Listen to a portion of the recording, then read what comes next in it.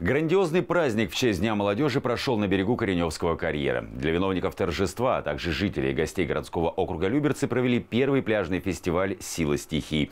Какая там царила атмосфера, расскажет Луиза Игиазарян. Назад, вперед, на месяц. Покрутились.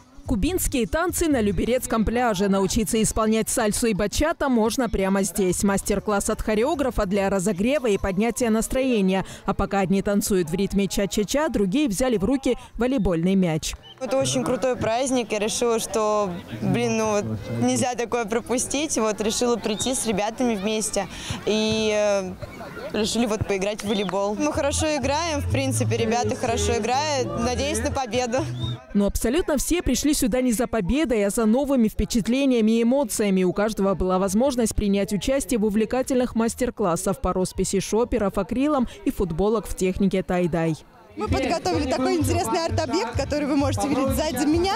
Э, креативная машина. Это, наверное, из разряда «мама не заругает». Можно написать на ней доброе пожелание. Она, конечно же, останется нам на долгую память. Потому что за молодежью наше будущее. И это, наверное, один из немногих дней. Не скажем, что он профессиональный. Он профессиональный, скорее всего, для нас, для работников этой сферы.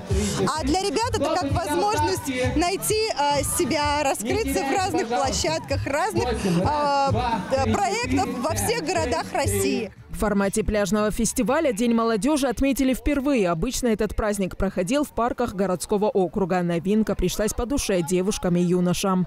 Настроение великолепное, просто море позитива, эмоции переполняют. Праздник очень крутой, мне все очень нравится. Ребята все классные и позитивные.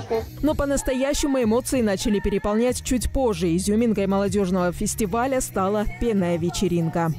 Луиза Игиазарян, Денис Заугольников, телеканал ЛРТ.